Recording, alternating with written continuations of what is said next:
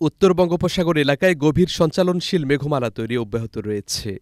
এর প্রভাবে উত্তর বঙ্গোপসাগর ও তৎসংলগ্ন বাংলাদেশের উপকূলীয় এলাকায় এবং সমুদ্রবন্দরসমূহের ওপর দিয়ে ঝোড়ো হাওয়া বয়ে যেতে পারে বলে জানিয়েছে আবহাওয়া অফিস। ফলে পটুয়াখালীর পায়রা, চট্টগ্রাম, কক্সবাজার ও মংলা সমুদ্রবন্দরসমূহকে তিন নম্বর স্থানীয় সতর্ক সংকেত দেখিয়ে যেতে বলা হয়েছে। একই সঙ্গে সকল মাছ ধরা ট্রলারসমূহকে উপকূলের কাছাকাছি থেকে সাবধানে চলাচল করতে বলা হয়েছে।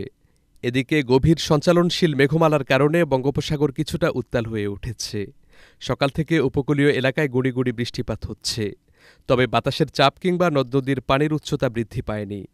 এদিকে গুড়ি গুঁড়ি বৃষ্টি ও মেঘলা আবহাওয়া থাকলেও কমেনি ভ্যাবসা গরম।